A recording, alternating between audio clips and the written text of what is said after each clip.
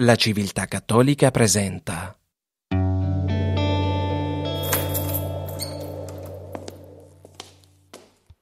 Abitare nella possibilità. Il Vangelo di De André. La buona novella compie 50 anni. Di Mariano Jacobellis. Primo novembre 1970. Lo squarcio.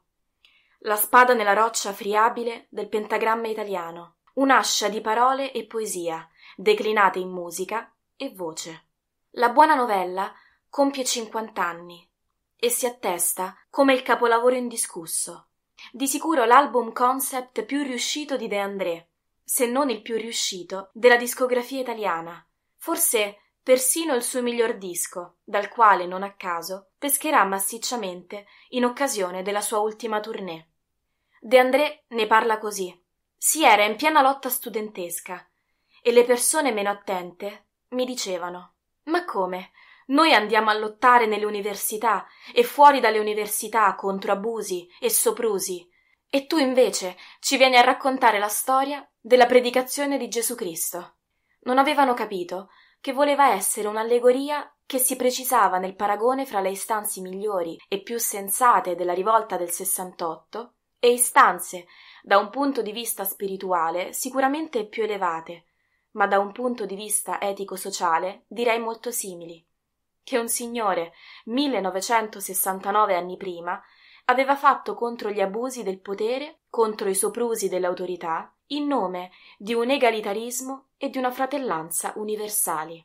Si chiamava Gesù di Nazareth e secondo me è stato ed è rimasto il più grande rivoluzionario di tutti i tempi. A distanza di cinquant'anni, la buona novella conserva una forza e un'attualità incredibile. Un album da ascoltare e riascoltare, lasciando che le parole di Faber penetrino dentro di noi e ci mettano in discussione. È fare l'esperienza di Tito, il quale, davanti al Cristo morente, sperimenta l'amore in una pietà che non cede al rancore. L'annuncio di De André è segnato dalla struggente ricerca di riscatto della condizione umana. Sintonizzarsi sulle sue frequenze è orientare la coscienza verso i derelitti e gli emarginati, verso i perdenti, che il mondo da sempre lascia sul terreno nella sua inarrestabile corsa verso il trionfo materiale. Mercato, tecnologie, deterrenza totale. Riscoprire e riascoltare oggi la buona novella è provare a mettersi davanti alla croce e rivolgersi a tutti gli altri crocifissi della storia, a tutte le morti innocenti. È provare a mettersi in dialogo con una coscienza laica che ha saputo interrogare con profondità l'esperienza umana, restituendone, spesso senza troppi orpelli e contratti di crudezza, la ricchezza e la problematicità.